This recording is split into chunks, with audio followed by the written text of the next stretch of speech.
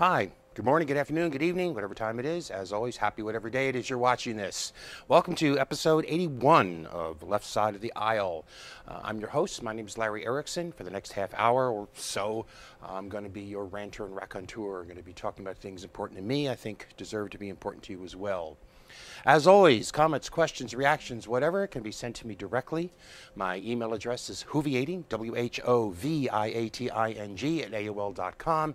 And my website is Lotus Surviving a Dark Time, and that will be up around here a couple of times during the show. And if you didn't catch the email address, you can get it at the website. Uh, as always, if you send me email, please include something like left side of the aisle or your cable show or something like that so I know it's not spam. Okay, with those all obviously uh, necessary introductions out of the way, let's get to it.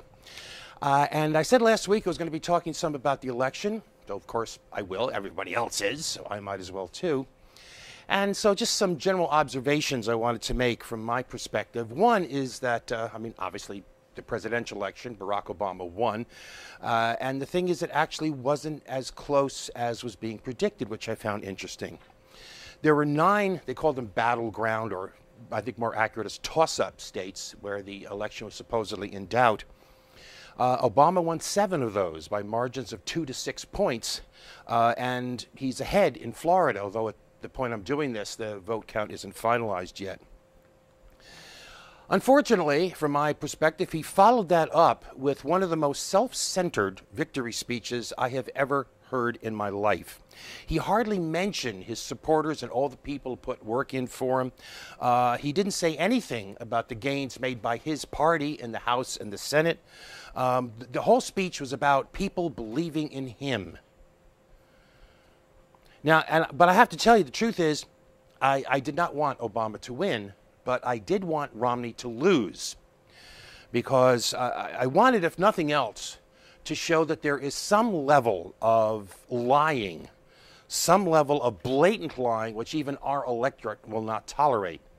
Because the thing about Mitt Romney is that not only is, is he a liar, but unlike Obama, he's not even a good liar. He's a terrible liar. Um, now, couple of weeks ago, I gave you the reasons why I would not vote for Barack Obama. I stand by all of those reasons, and we're still going to be facing those same issues in a second term. The other thing to mention about this is that um, he won the national vote by something apparently, at last numbers I saw, is a touch over 2%, which is a clear enough victory. It's not a razor thin victory like some have been, but it still indicates that we are still a deeply divided nation and we have to face that. We have to deal with that. Now, there was uh, some good news to be had uh, in the election. Uh, first, Allen West. Apparently, last I heard, he lost. Uh, Joe Walsh lost. Uh, Michele Bachmann barely survived despite outspending her opponent 12 to 1. So I suspect we're not going to hear much from her either. Um, Alan Grayson won. And if you don't know who any of these people are, look them up and you'll see why I'm glad. Uh, locally, uh, questions one and three won, which I was pleased to see. Uh, I wish question two had won, but um, it didn't. Uh, but um, the vote was close, so closer than I expected it to be. So I think that uh, trends well for the future. And on a personal, again, personal feeling, I'm, I'm kind of glad Elizabeth Warren won. Uh, I don't usually get to vote with, for a major party candidate that I feel pretty comfortable voting for, so I'm glad that she won. On the other hand, there was some good news from another place, a place where I've said before it seems to be most of the good news these days comes from uh, same sex marriage. Clean sweep for same sex marriage. Uh, in Maine, there was a ballot question looking to undo a referendum that banned same sex marriage, this legalized same sex marriage. That won. Uh, in Maryland, there was a, a, leg- a, a bill passed to legalize same sex marriage, um, and the question is are voters going to approve of that bill? They did. In Washington, it was the same thing. Do voters approve of a bill passed recognizing same sex marriages? It passed. And in Minnesota, there was a move for a constitutional amendment to ban same sex marriages that failed. So there's still no same-sex marriage in Minnesota at this point, but but they did not ban it outright. So basically, a 4-0 sweep for um, for people uh, uh, uh support of same-sex marriage. But with that, with that quick introduction, a quick overview of some of the things important to me, we're going to move on to our regular weekly feature, the outrage of the week. And this does have to do with the elections. Um, the outrage of the week is very simple it's this, and this, and this, and so on, and so on, and so on. It has been said more than once, but it bears repeating, that if the United States was a third world nation, we would condemn our elector, uh, election systems as terrible, as awful, as a travesty incapable of producing a fair or reliable outcome. Our election system is a disgrace. Uh, it's an utter, shameful disgrace. Uh, and, you know, this doesn't, uh, uh this does not have a, a single thing to do with uh, who you want to win it doesn't have a, th- a thing to do with whether or not you're satisfied with two parties, which I'm not, or whether you believe in third, fourth, and fifth parties to keep the ideas flowing, which I do. It has nothing to do with whether you pulled in the lever, pulled the lever, or filled in the oval, or whatever you did for uh, Barack Obama or Mitt Romney or Jill Stein or whoever. Got nothing to do with that having to stand in line for six, for seven, for eight hours in order to vote is a disgrace. It is unacceptable. And all those lines I showed you, that was for early voting. This is for what was supposed to make voting easier. This is what was, uh, what was supposed to cut down on those kind of lines. And yet they still exist. I heard last night that some people in Florida were still in line at nearly 2 a.m. local time trying to vote. I, I gotta th- this is more than just unacceptable. This is a threat to the very concept of being able to vote. There are physical limits to what people can do as to how long they can stand online. There, it is a threat and again, this has nothing to do with being capitalist or socialist or with being red or blue or green. It has nothing to do with any of that. It has to do with the idea of having a functioning republic. And here, I'm not even talking about the, the, the, the, bogus claims about voter fraud or these things about these idiot voter ID laws and whatnot that are being passed. Although I do have to mention that the great preponderance of black faces you might have noticed in those photos I told you may give you some idea about why those lines are allowed to exist. But no, I'm not talking about that. I am talking about the normal functioning of our election system. It's riddled with administrative errors, poor record keeping, varying and changing standards and regulations, whether problems with absentee ballots, with registration backlogs, with wrongly calibrated machines, and perhaps worst of all, people being wrongfully and illegally denied the opportunity even to cast a provisional ballot because too often the election officials don't know the laws that they are there to enforce and administer. And what's the answer to this? Well, there are several answers. One would be a standardized registration procedure that does not put unfair and unnecessary burdens on the poor and the elderly. For another, get more voting machines.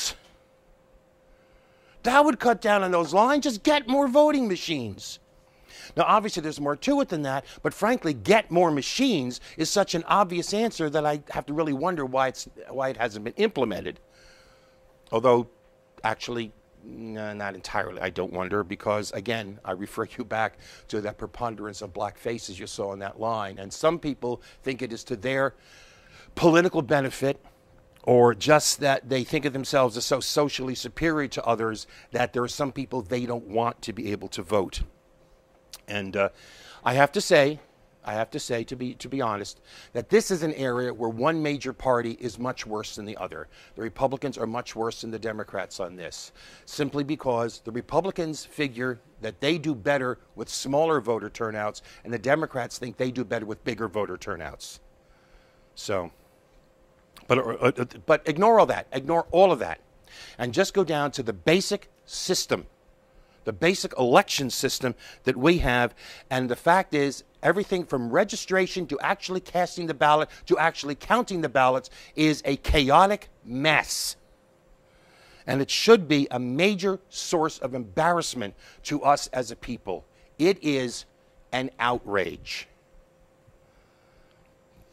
All right, from there, we're actually going on to our other weekly feature, which also has to do with the election. The election's the theme this week, uh, and that is the Clown Award. Now, Pennsylvania, I've talked about this before. Pennsylvania passed this uh, um, voter ID law. It was a rather strict law. It was approved by a judge. The law was approved by a judge. But a higher court in Pennsylvania basically ordered that judge to enjoin the law, to block its enforcement uh, until after the election when the full case could be heard. But the state, in the wake of this order, uh, failed to inform voters of the change. They delayed sending out corrected information and instead issued new and still misleading ads like this one. This is a you know on the side of a bus. This ad, this was after the order. The ad features a big picture of a photo ID with little type that says on election day if you have it and then in great big huge type show it. Well, voting advocacy groups went back to court in Pennsylvania uh, to ask that the state be ordered to stop sending out these clearly misleading ads. On the Friday before Election Day, a judge in Pennsylvania refused to issue that order, allowing the misleading ads to continue. The judge who did that was Commonwealth Judge Robert Simpson. This is the man who originally approved of this law and who, as I've told you before, after being ordered to enjoin it, went out of his way to make that order as limited as possible and specifically allowed the state of Pennsylvania to continue producing and issuing misleading ads.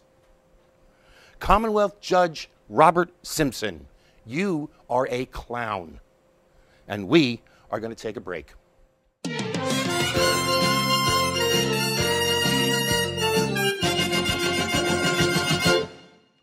And we're back. Now, for the rest of the show, it's going to be you know, a little more personal than I usually get. But uh, last week's show uh, was recorded. Actually, I, I, was away for a week. My wife and I were at a conference, and uh, so I was away. So last week's show was actually recorded before I left. So it couldn't talk at all about Sandy because that was after the show was recorded. Um, as for us, I'll, I'll tell you in case anybody's wondering well, you should be able to know, but just in case you are, uh, we really, really did fine. We sort of got stranded for a couple of days. Um, we, uh, it took us an extra couple of days to get home, but uh, we got home uh, rather lighter in the wallet, but uh, still, we got home. And uh, when we got home, we discovered there was no real damage to speak of. There were some branches down in the area. Um, one of our neighbors apparently lost some siding from their house, and apparently the power was off, but only for a few hours. So basically, no real damage to speak of. We around here, we lucked out again. Others weren't so lucky. Of course, after Sandy raked across the Caribbean, went up the East Coast, and what got the most coverage, of course, because it was the most unusual, was the impact it had on the New York metropolitan area. Um, I have family down in New Jersey, and uh, some of them reported that uh, they had flooding in their houses. Um, people said they lost their cars in the flood. They were ruined, destroyed in the flood. My brother lives in North Jersey. Uh, he was without power for a week. I think actually yesterday, as of yesterday, which would be election day, I think he was still without power. Um, you also know about um, the, uh, the flooding, 14 foot storm surge in Manhattan the flooding in New York City. Um, you probably heard about the, the, how the storm caused a fire in the Breezy Point section of Queens, and the wind whipped that fire, and the whole neighborhood was burnt to the ground as a result of the storm. You know about the millions without power or gasoline or heat. Um, uh, you know the people who were stranded uh, some people who were stranded running out of food. People on Staten Island apparently stranded in that way. And now you may have also heard that um, they just got a blizzard there in central, south central New Jersey with three to six inches of snow across the region. You know. The thing is, but uh, part of the devastation of Sandy, and with um, well over 100 people dead and an estimate of more than $50 billion in property damage. I think devastation is the right word. Part of the devastation of Sandy hit me in a more personal and more visceral, if you will, way. See, I grew up on the Jersey Shore. I grew up there. I was born there. I grew up there, lived a long time there. Um, it was home, and um, in fact, it, it um, still feels like home in a lot of ways. It's the place where my memories lie. And seeing some of the coverage was kind of hard. Uh, bring up that first picture there. Um, this is Ocean Grove, Ocean Grove, New Jersey. I have walked the length of that boardwalk. I know exactly where those houses are. I know how far it is from there to the nearest frozen custard stand. This next one, this bridge, this bridge, this is in Mantoloking. This, I've been over that bridge. That's it's actually a very pretty bridge. It, it, it was over an inlet. Mantoloking, you see there, is actually a barrier beach. And this bridge, this very pretty bridge, linked Mantoloking with the mainland of New Jersey. A little further down, that same barrier beach, uh, a family of a friend had a, um, had a summer cottage there. And we used to go down there. We used to spend time down there. We used to cruise this section, this section of Route 35 in Ortley Beach, New Jersey. We used to cruise that section of road. And just like John Cougar said, we were just uh, sucking on chili dogs and shooting the summer breeze. Uh, it was actually somewhere around here. It was a little bit north of here, in fact. Uh, but somewhere right around there where uh, we got stopped by a local cop because we had long hair. And we were basically told to get out of town. It's part of the Great Ortley Beach Massacre, if, which if somebody really wants to be bored by somebody's old stories, I'll, I'll tell them about sometime. But come summer, come summer, Seaside Heights was the place. Seaside Heights. This was the second home for a lot of people um, even who lived on the shore. Now, there were boardwalks and rides and games all along the shore, but unless you're going to go all the way down to Wildwood, Seaside was the big place. If you wanted to drown yourself in cotton candy and candy apples, if you wanted to be surrounded by the blare of boom boxes and the flashing of yellow and red neon lights, if you wanted to be uh, hear the noise, the clickety noise of game wheels or the whoosh of tilt-a-whirls, Seaside is where you went. This is Seaside now. It's estimated that in Seaside, 90% of the structures are either destroyed or damaged. And what you see in the middle background of that picture is this. Bring up that next one. Uh, is this. It's a roller coaster. The pier that that roller coaster, and I used to ride that roller coaster, the pier that it's on is now gone. But the one that I think that got me the most was this, this, this next one. This is Seabright, Seabright, New Jersey. It's the main street of Seabright, New Jersey. I have been on that street. I have driven that street more times than I can remember. Uh, a few years ago, when, uh, when uh, my wife wanted to see where I grew up and went down to New Jersey, this is one of the places that I wanted to make sure I took her. Now, Seabright's easy to find on a map of New Jersey. Just look at a map of New Jersey. Seabright is this narrow strip of land where Sandy Hook meets the mainland. Um, it's uh, on one side of Seabright there is ocean. On the other side there's an inlet that opens into two rivers. Now, if you look at this picture, you're looking north in this picture, and just beyond the frame, just beyond as far as you can see at the picture, there's a bridge that goes over that inlet, while the street that you're on, Ocean Avenue, continues up towards Sandy Hook. And if you go up past that bridge, a little ways up, there's a seawall, just a, a big stone and concrete structure, about 12 or 15 feet high, along the road there. And beyond the other side of that seawall, there is ocean. There's no beach, it's all washed away. And one of the things to do when we had a good, really good, decent nor'easter, one of the things to do was to go down to Seabright, go down along the road, it's called Ocean Avenue, go down along that road and watch the waves wash over the seawall onto the road. And the thing is, where there isn't seawall along there, and to the right of the picture where you are, and somewhat to the south of it, where there isn't seawall, there's beach, and there are beach clubs. So, because of the position, I knew Seabright was in trouble when that storm was headed that way. I knew Seabright was in trouble. The thing is, the sand from those beach clubs isn't on the beach anymore. This last picture. The woman in that picture, who, by the way, is, is the um, mayor of Seabright, she is not walking along sand dunes. She is walking down Ocean Avenue. This, the beach from Seabright has been moved into the middle of town. Now, I've been showing this. Well, I started to say not out of nostalgia, but I suppose to some degree it is a, kind of nostalgia. But what I really wanted to do, this is kind of, if you will, I wanted to do an, uh, an RIP for the home of my memories. Because someone wrote, uh, just, just, just the other day, someone wrote that says the Jersey Shore, it's not a physical location or it's not just a physical location. It's not just a resort area. The Jersey Shore is a brand. It's a lifestyle. It's a way of thinking. It's a way of being, and, and, and, which, by the way, has absolutely nothing to do with that idiotic TV show. I don't know of a single person who actually grew up on the shore who does not despise that show. But the Jersey Shore was, it's an attitude. It is what it is. It's a way of being. And now it's gone. It's gone. Um, the Jersey Shore I knew is gone. Oh, it'll be rebuilt. There's no question it'll be rebuilt. There'll be houses go back up. There'll be amusement things that go back up, but it won't be the same. It'll be new. It'll be shiny. It'll be glitzy. It'll probably be upscale. The Jersey Shore will be there, but it won't be the Jersey Shore anymore. The home of my memories is gone. And I just wanted to have the chance to say RIP. But there's a question, getting back to more direct things, there's a question about why I would indulge myself this way. Why would I indulge myself in such a personal kind of thing here? Well, that's because people have raised the question of is there a connection between Sandy and global warming?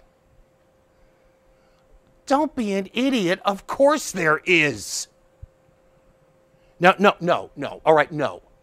We, you can't say as absolute scientific fact that global warming caused Sandy. In fact, global warming never causes a storm. Uh, local atmospheric conditions cause, cause storms. And if somebody says, well, could you have had a storm like Sandy without global warming? Hypothetically, yes, you could have. Yes, of course, that's, you know, that's true. But the thing is, to deny a connection between storms like Sandy and global warming, to deny that connection because you can't prove that Sandy in particular was caused by global warming, is exactly, it is exactly like the people who try to deny a connection between smoking and disease because you couldn't prove that a particular individual case of cancer was caused by smoking. Oh, that person well, you know, they could have gotten cancer without, even if they didn't smoke. So therefore, you can't show a connection between smoking and heart disease. Now that is utter nonsense, and I, everybody agrees now that it's utter nonsense. There is a clear statistical connection between smoking and disease. A clear statistical connection. Uh, you can, uh, uh, you know, if you smoke, you're more likely to get heart disease, you're more likely to get emphysema, you're more likely to get lung cancer, and the more and the longer you smoke, the more likely you are to get at least one of those.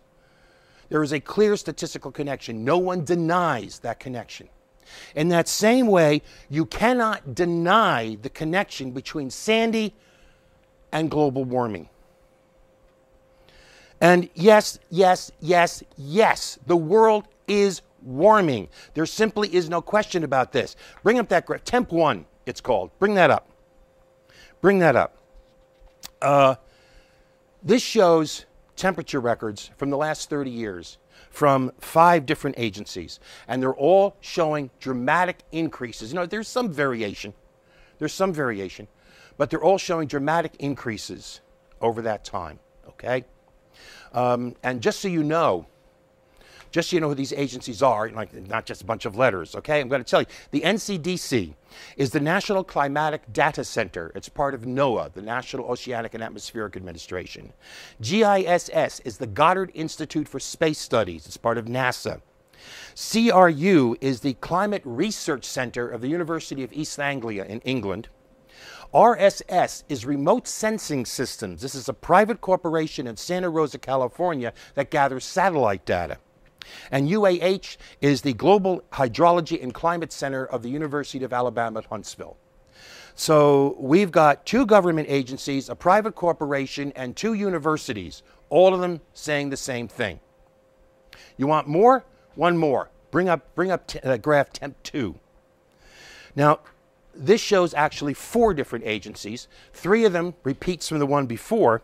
It also adds Berkeley. That's the Berkeley group. This was a group of physicists out at Berkeley, uh, at the uh, UCal Berkeley, who didn't believe global warming, and they were going to re-examine all the data to find the truth of it, and instead of uh, uh, uh, challenging the data, wound up confirming it. So now you've got like six different agencies government, private business, universities, outside groups, all saying the same thing. Yes, the world is warming. There simply is no question about this. And the fact is, the warm, a warming climate puts more energy into storms. This is simply a physical fact. Uh, and that includes hurricanes. These storms have more rain, they'll have stronger winds, uh, which means they'll push more of a storm surge, which increases flooding, which will be even worse because with the warming of the world, the ocean gets most of that heat. Ocean levels have been rising, so the storm surge is on top of a higher base. We know that climate change makes things like Sandy more frequent. So, can you say climate change caused Sandy? No. But what you can say is that climate change makes things like Sandy far more likely to happen. And it also makes them more severe when they do happen. Um, the thing is, the extreme weather we've seen over the past couple of decades is exactly what you expect to see with global warming. It's exactly what you expect to see. And it's, and it's not just Sandy. We are on track this year to have the hottest year in the United States in recorded weather history. In fact, in August, a nuclear power plant in Connecticut had to be shut down for two weeks because the cooling water it was draw- drawing from Long Island Sound was too warm to effectively cool the reactor. And it's not just us. The decade from 20, uh, 2001 to 2010 worldwide was the warmest on record. It beat the record set by the 1990s, which beat the record set by the 1980s. The years 2010 and 2005 are tied for worldwide the warmest years ever recorded. Meanwhile, back home, we've had one of the most crippling droughts in our recent history, one of the worst wildfire years in history, while at the same time, some parts of the country, the Pacific Northwest, the, the uh, uh, uh upper New England, uh, the, uh, the, um, the Florida coast, were actually a lot wetter than normal. The simple fact is that the models all say the same thing. Global warming produces more storms like Sandy, and when they come, they will be worse. We are past the point of saying, does global warming exist? We are now to the point of saying, what are we going to do to prevent the worst aspects? Because we can't even prevent it from happening. It's too late. And with that cheery thought, I'm going to leave you for the week. And maybe we'll talk about a little bit more about this next week. We'll see. But for now, you have the best week you can. And uh, we'll see you next week.